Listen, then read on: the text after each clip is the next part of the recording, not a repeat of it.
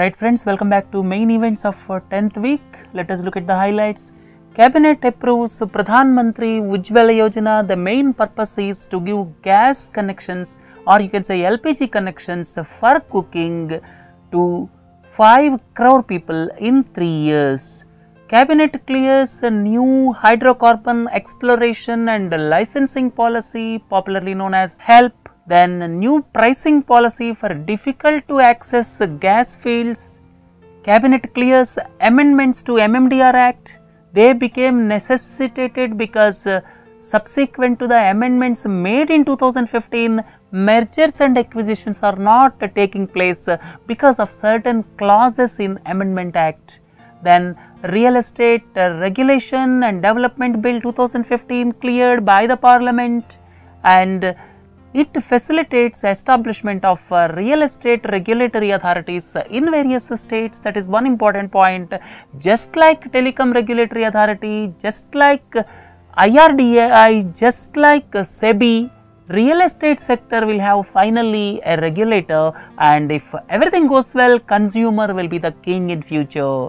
Then government rolls back the proposal to tax 60% of the withdrawals in employees provident fund then Parliament approves National Waterways Bill of 2015 because of which 106 additional waterways will be added to national waterways. At present there are only 5. By adding those 106 the total will go up to 111.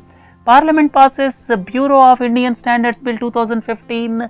Now finally the Bureau of Indian Standards has got statutory provision then Maharashtra, Telangana signed historic accord on sharing of river waters of Godavari and its tributaries. Then the Marshall Islands is uh, suing India, Pakistan and United Kingdom because these countries are not able to stop the proliferation of nuclear weapons. Then economic stimulus by European Central Bank whatever the steps European Central Bank is taking, growth is not taking place in Eurozone area, then ISRO finally places the sixth satellite of IRNSS series into orbit. After one more satellite, we will have our own navigation system just like GPS. International Women's Day was celebrated on March 8th. We are going to discuss certain issues specific to India.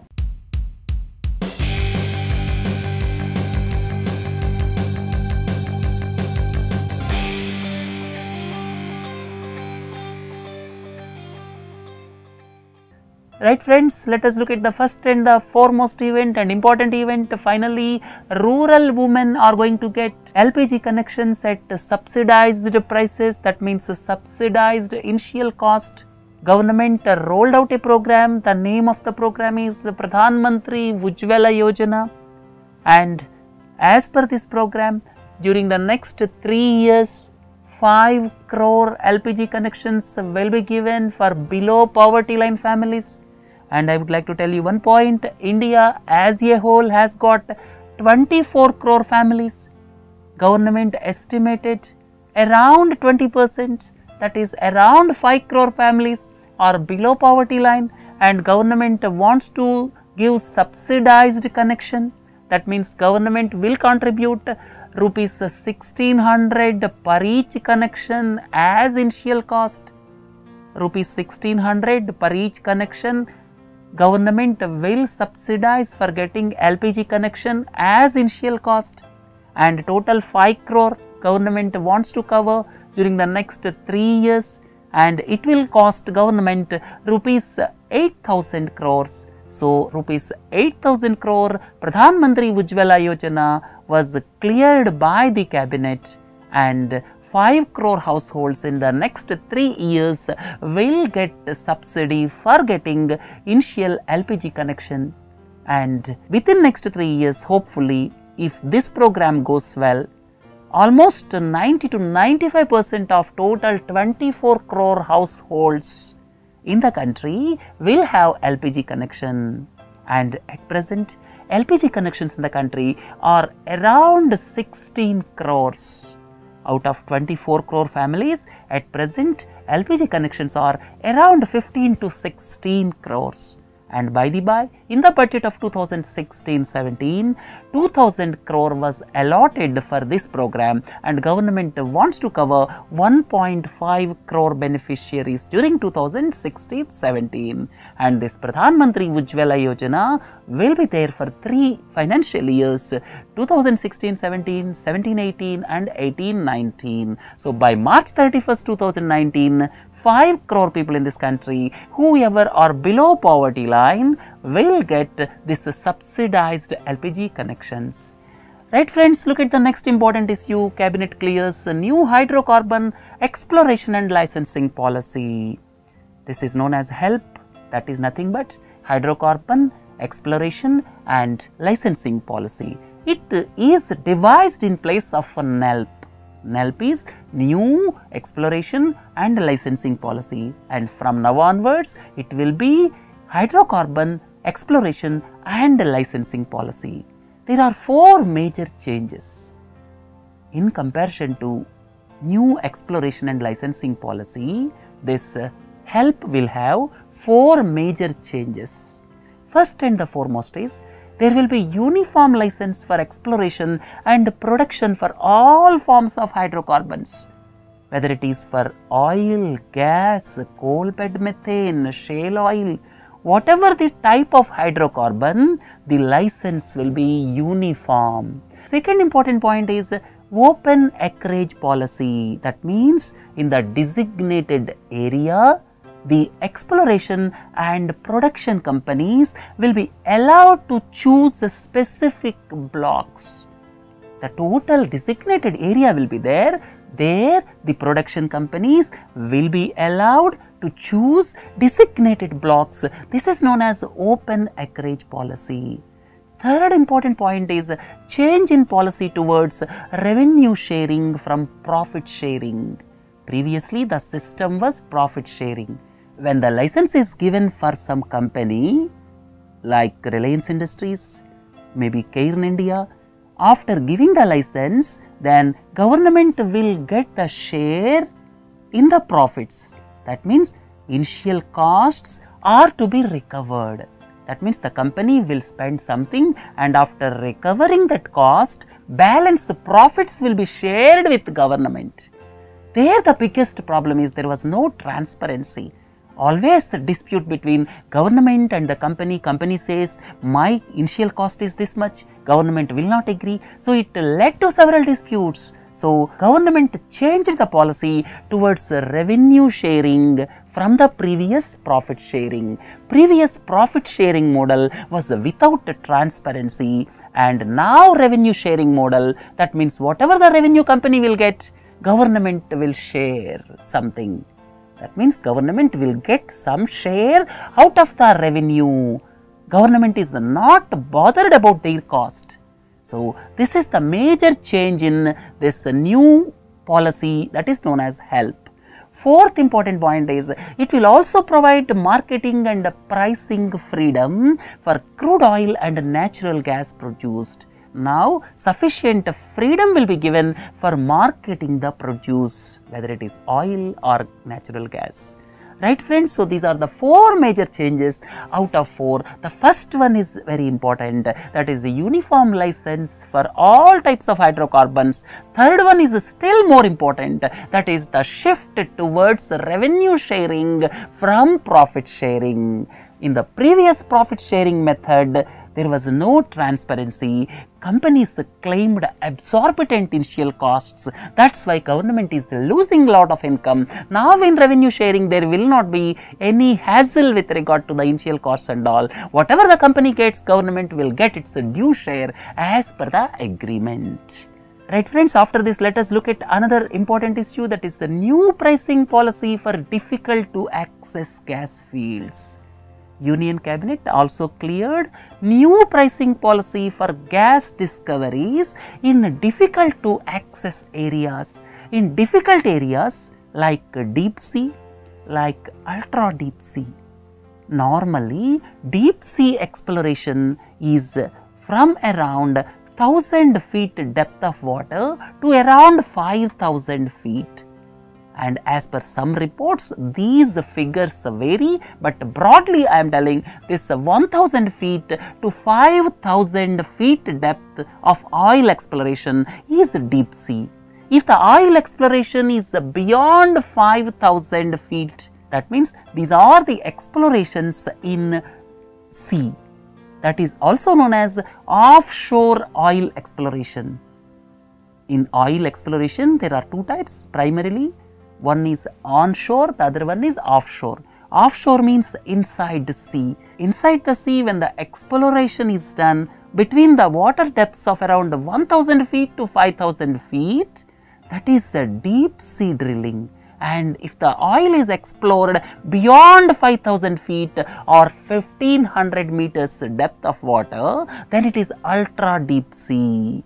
These figures differ from report to report, but broadly please understand when the exploration is done in sea beyond the depth of 1500 meters or 5000 feet that is known as ultra deep sea exploration. So, for the difficult areas like deep sea, ultra deep sea, high temperature areas, high pressure areas, the government has given the pricing freedom for the oil companies only government decided the ceiling price and the companies has got the freedom to sell their product and the ceiling price will be decided based on one year average of landing prices of fuel oil, naphtha and imported coal.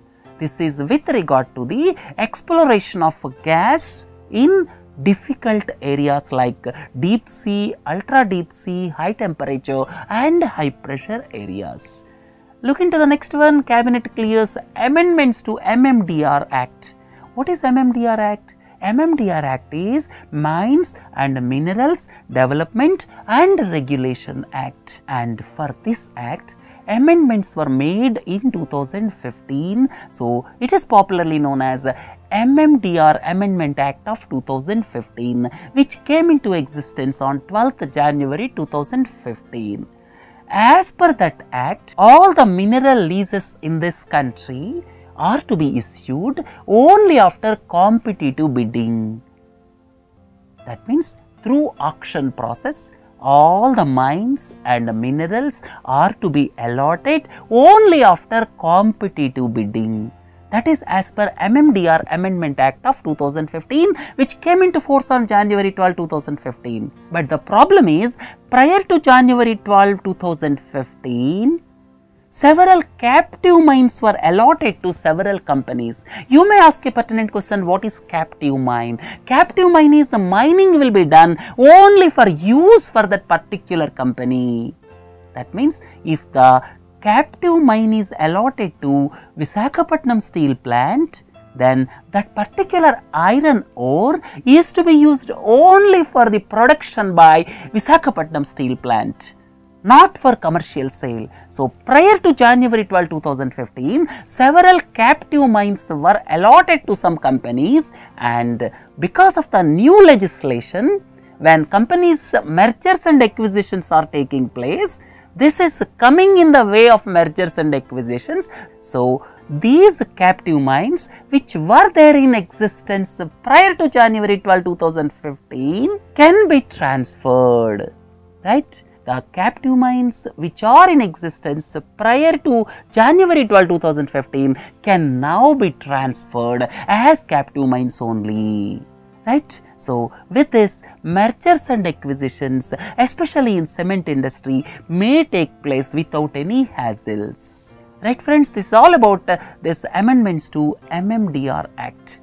Next important issue, most important issue, Real Estate Regulation and Development Bill 2015 passed by Parliament. The landmark achievements of the first session of this budget session or you can say first part of this budget session which concluded on March 16th is two bills. One is Aadhaar bill was passed but there are some controversies and second one is this real estate regulation and development bill. This is long due And you may ask, what is the need for this bill? The need for this bill arises because of the reason if you look at telecom sector, there is telecom regulator TRAI. If you look at banking sector, there is regulator Reserve Bank of India. If you look at capital market, there is a regulator SEBI. But real estate sector, there is no regulator till date. And it is the biggest anomaly in the country because real estate contributes to 9% of GDP in this country. But there is no regulator. Now, with the passage of this bill, now states can have regulators for real estate. And the salient features of this bill I have given first and the foremost is it covers both residential and commercial properties. Real estate regulatory authority can be set up in all the states. In fact, as per this act, real estate regulatory authority is to be set up in all the states then developers are required to disclose all the project details including status of approvals. They have to disclose all the project details. They cannot uh, start a project without uh, disclosing the project details. Then construction to start only after getting all the statutory approvals. Builders to charge only based on carpet area and once the norms are disclosed, if any changes are required to be done, at least two third of the home buyers should agree and 70 percent of the funds collected should be kept in separate account popularly known as escrow account and this money can only be used for land and construction of building. So, real estate developers cannot divert the funds. Then appellate tribunals will be established to adjudicate cases and maximum time period is 60 days.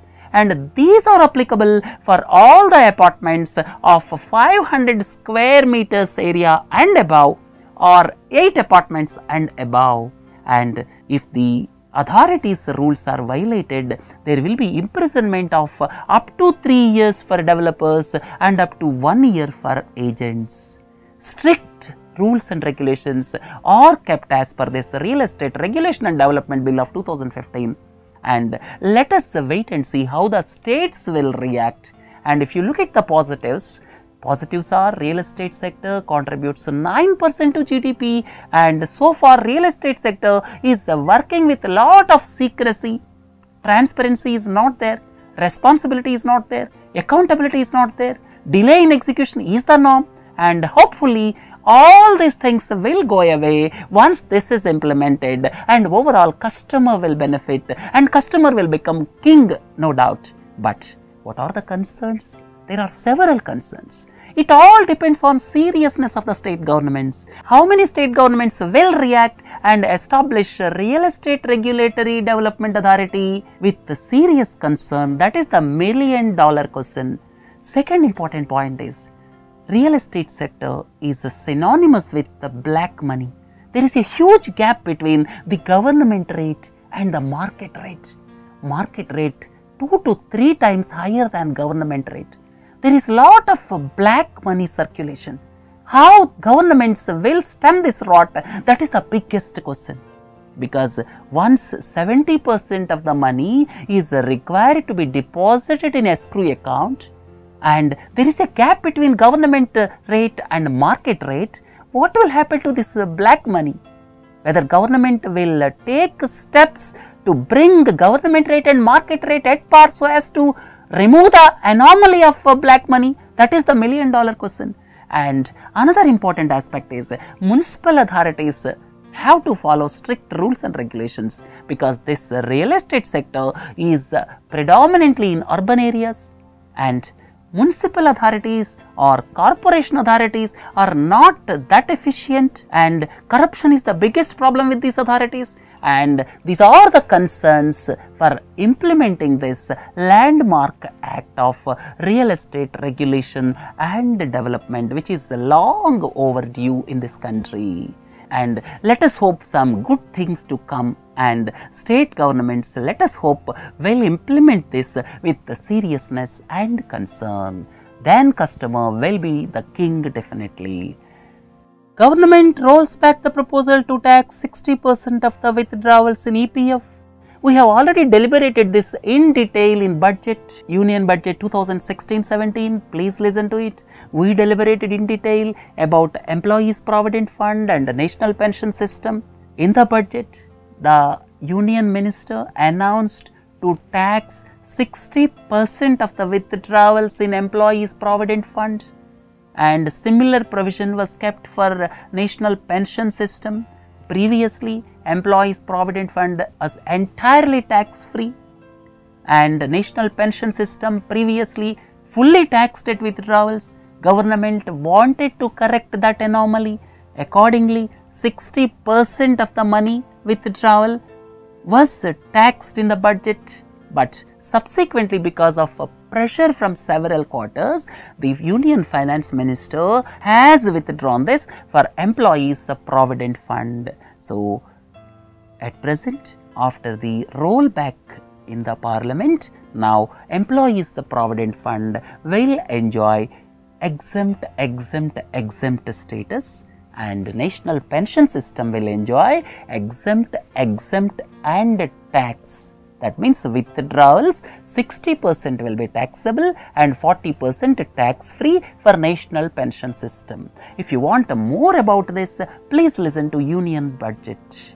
Right friends, Parliament approves National Waterways Bill 2015. This National Waterways at present before the passage of this bill, India has got only 5 national waterways and in this National Waterways Bill 2015, government added 106 inland waterways. So, with this addition, total will become 111.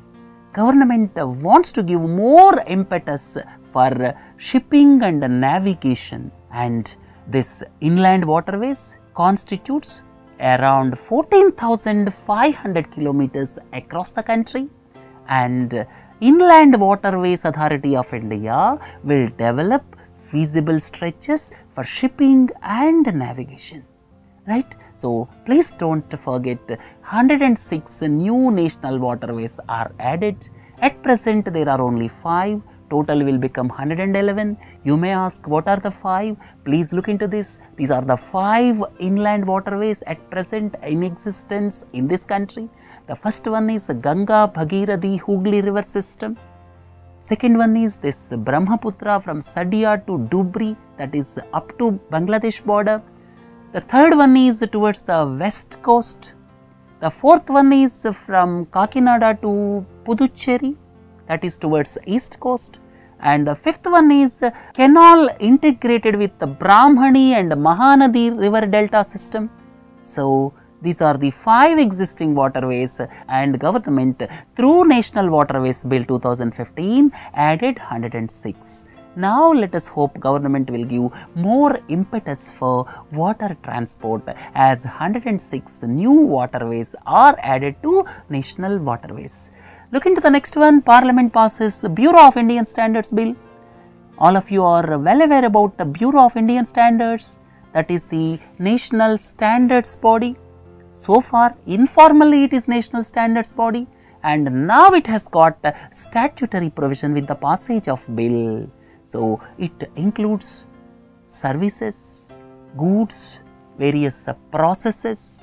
Basically, the aim of it is uh, to ensure high quality products and services in the country. Informally, it is in existence. Now, it is made formal. So, statutory framework was devised for this Bureau of Indian Standards and it provides for recall of ISI marked products if it is not satisfying relevant standards and it prevents misuse of standard marks and also it introduces mandatory hallmarking for precious metals.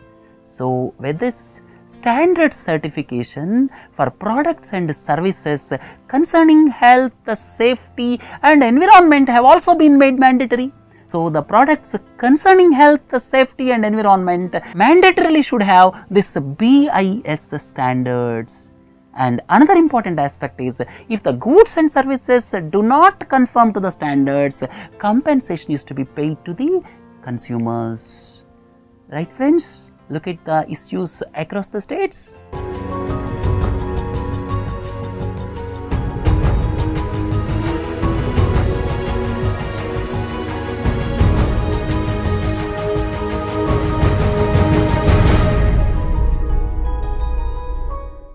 Maharashtra Telangana sign a historic accord on river waters. The two states signed a memorandum of understanding on constitution of interstate water board.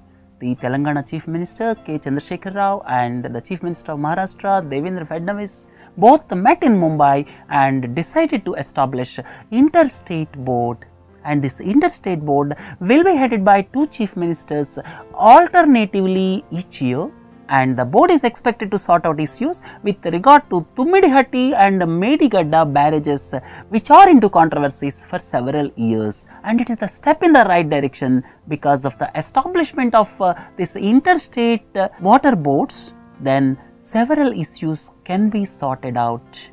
Right? And all of you are familiar with the frequent disputes and animosities between various states. Now at present this Sutlej Yamuna link canal dispute is going on and Haryana and Punjab are at loggerheads. Then the issue with regard to Mullaperiyar dam between Tamil Nadu and Kerala. Kaveri water dispute arises quite often between Tamil Nadu and Karnataka and if you look at such type of cases, this type of arrangement for forming interstate water board is the step in the right direction.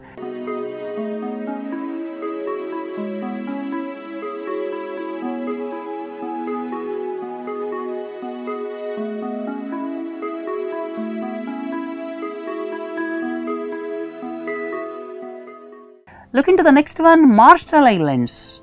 That is the suing India, Pakistan and United Kingdom. These Marshall Islands dragged India, Pakistan and the United Kingdom to International Court of Justice. And it decided to file case against nine countries but International Court of Justice decided to take up the case against three countries only because these three countries recognize its authority right. So, now this Marshall Islands, where is this Marshall Islands? Marshall Islands is a presidential republic in central Pacific. It is near international date line and it is one of the islands of the Micronesia region and this is independent country but it has got a free association with USA. What is meant by free association? The meaning of free association is United States of America will support this country, but the defense matters will be looked after by United States of America. And capital is Majuro and the currency is United States dollar and the country suffered because of nuclear tests conducted by United States of America in 1940s and 1950s. In 1940s and 1950s, United States of America conducted several nuclear tests in these Marshall Islands. But surprisingly, the country has got a good relation with United States of America and it is in free association with United States of America. The country which conducted nuclear tests in 1940s 50s is in good relation with the Marshall Islands but Marshall Islands ironically decided to sue India, Pakistan and United Kingdom for not able to stop the nuclear proliferation in this world. And now International Court of Justice which is based in The Hague will take up the case against India, Pakistan and United Kingdom. Right? See the irony? United States of America destroyed the islands with uh, the nuclear tests in 1940s 50s. Now United States of America is looking after the defense of Marshall Islands with the free association agreement and now Marshall Islands instead of blaming United States of America is blaming India, Pakistan and United Kingdom. So this is the irony of the situation. Right friends, look at the next issue that is economy and banking.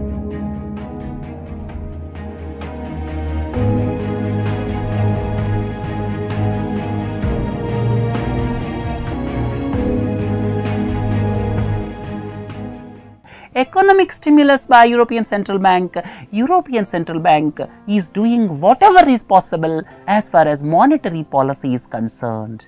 It is looking at free money from all the available means, but the growth is not taking off. European Central Bank is using all the possible methods. It is reducing interest rates. It introduced a negative interest rate and it is going for massive quantitative easing, but still growth is not taking place in Eurozone countries. That is the irony at present in the world. Now recently European Central Bank cut its main refinancing rate from 0.05 percent to 0 percent. If it is refinancing banks, then the interest rate is 0 percent. Second is deposit rates cut to minus minus 0.4 percent minus 0.4 percent. That means when the banks are parking extra money with European Central Bank, in return the banks are required to pay that is a negative interest rate.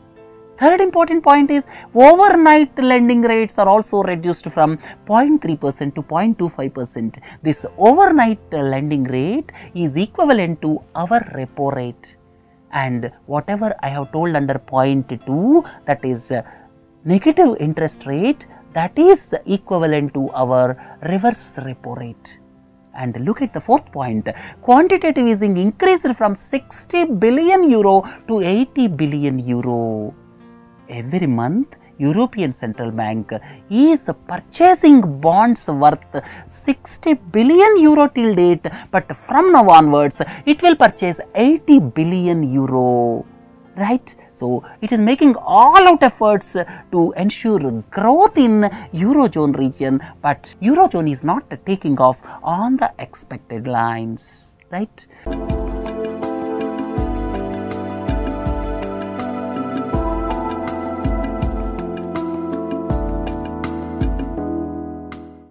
Looking to the miscellaneous issues, ISRO places IRNSS 1F into orbit and six satellites are put into orbit. The seventh satellite is expected shortly.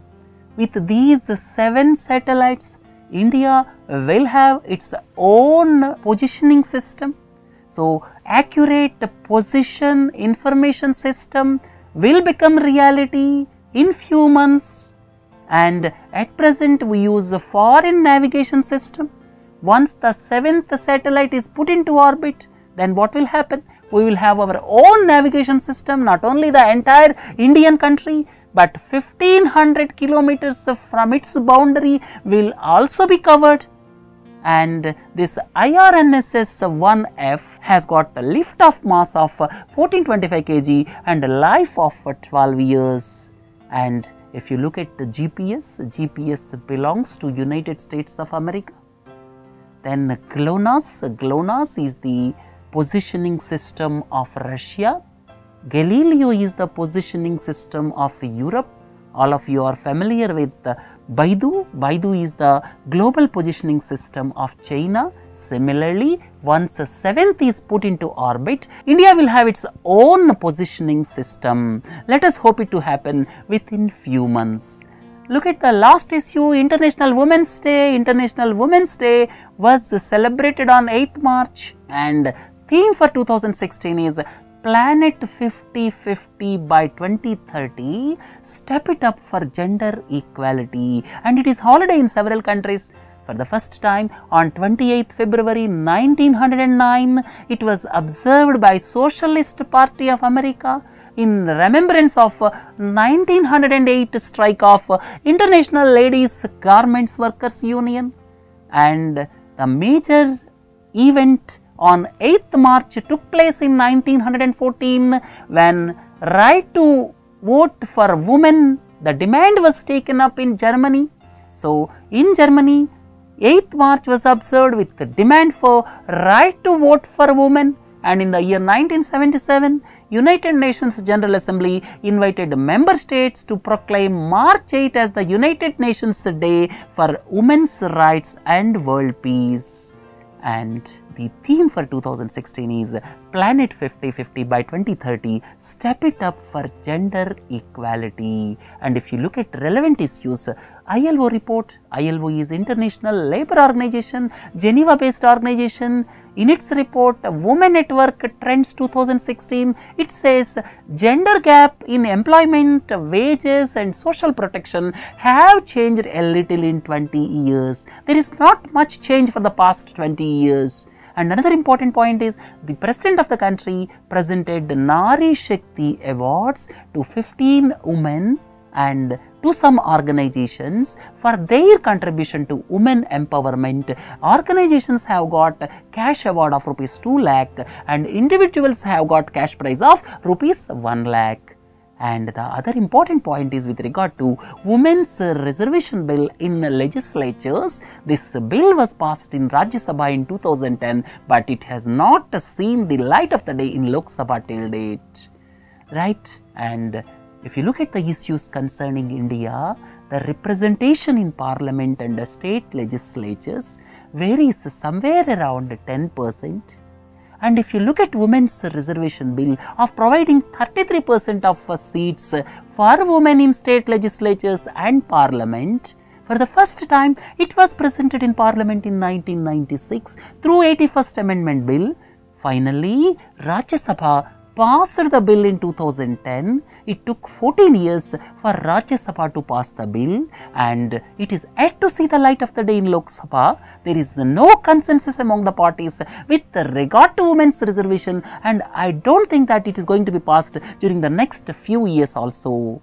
Third important point is female participation in the labor market is 28.6 percent only of working age population. Working age population is between 15 to 64 years and for men the working age population is around 80 percent whereas for women the working age population participation in the labor market is just 29 percent and if you look at China, the female participation is 64 percent.